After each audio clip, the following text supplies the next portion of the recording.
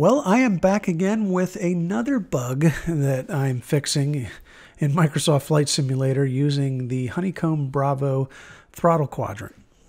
This bug is a bad keybind on the VS selection on the left knob of the autopilot.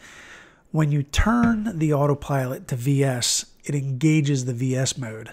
As you can see in the simulator, the VS light lights up right there. And when you turn the selection off of VS, it deselects the VS mode.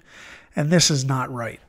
For example, if I take the other altitude change uh, function, which is the IAS mode, if I turn it down there, it does not engage the IAS or FLC mode in the simulator. I actually have to press the IAS button for the FLC or IAS mode to actually engage. And this is proper. And you can see I can select an airspeed above the airspeed tape.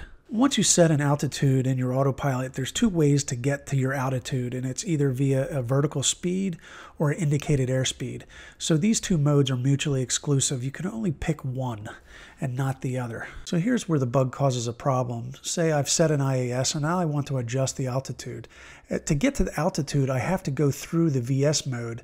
So it turns the VS mode on and then back off again, which completely disables my IAS that I had preset. And the other problem is if I did set a VS, as soon as I turn off of the VS, the VS is disengaged. So it's really not working properly. This is how you want to fix it. Go to the controls page and select the Bravo throttle quadrant. Make sure the left knob of your autopilot is set to altitude, ALT. And then go over and click search by input and move the knob down to VS. This will bring up the two bindings for VS. The one that's bad is this set autopilot VS hold. So click on that and we're going to clear the current input.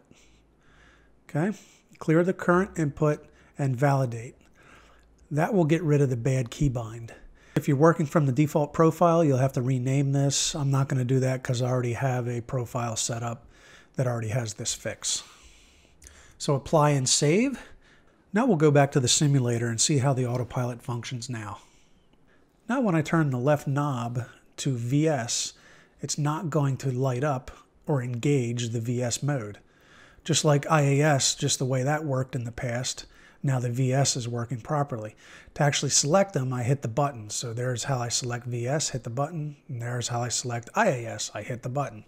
That's the proper way to have them selected. You don't want anything being selected or deselected with the knob.